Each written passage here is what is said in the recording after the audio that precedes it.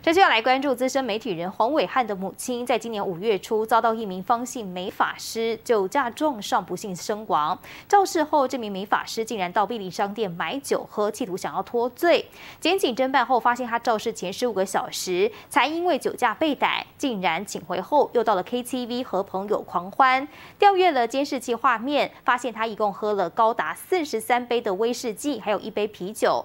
因此，全案台中地检署侦查终结。也将他依公共危险过失致死罪提起公诉。凌晨三点多，方姓男子酒后开着宾士车，不慎在路口撞上了正在过马路的妇人，妇人当场身亡。而他是资深媒体人黄伟汉，七十岁的妈妈。如今台中地检署侦查终结，以公共危险过失致死罪将他起诉。造成被害人死亡是涉及到。